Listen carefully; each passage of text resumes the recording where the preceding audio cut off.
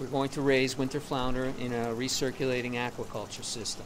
It's just you know, it's just real life science. It's it's it's it's a measurement that they have to learn. It's a measurement that they have to understand, and we're connecting it to a real project to make it relevant, to make it uh, real. Um, I like that we do like hands-on experiments and stuff. These kids live in a seaside community, and it's really important that they we that we, that, we, uh, that they're ocean literate. That they measure how much water is in the entire system.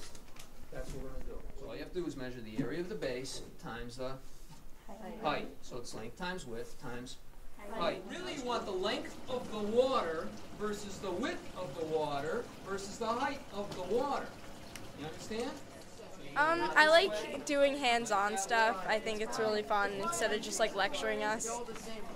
My favorite part is we get to just discover things on our own. You know, not reading them from a book, we just get to figure them out ourselves.